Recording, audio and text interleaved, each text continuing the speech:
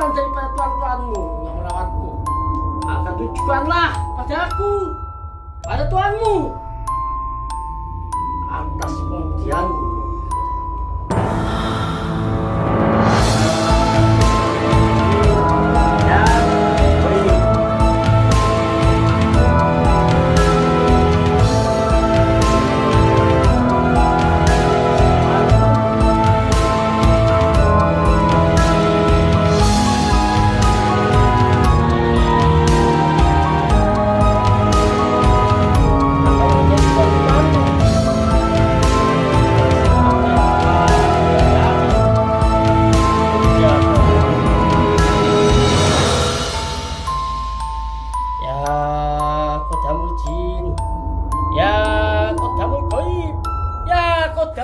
Bye.